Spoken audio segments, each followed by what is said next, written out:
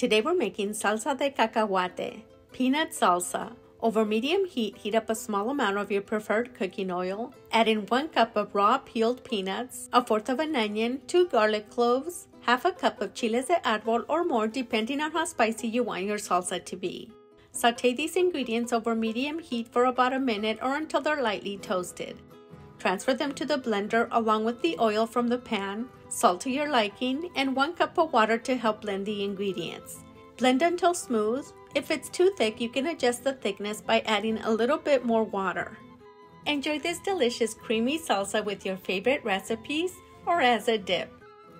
And enjoy!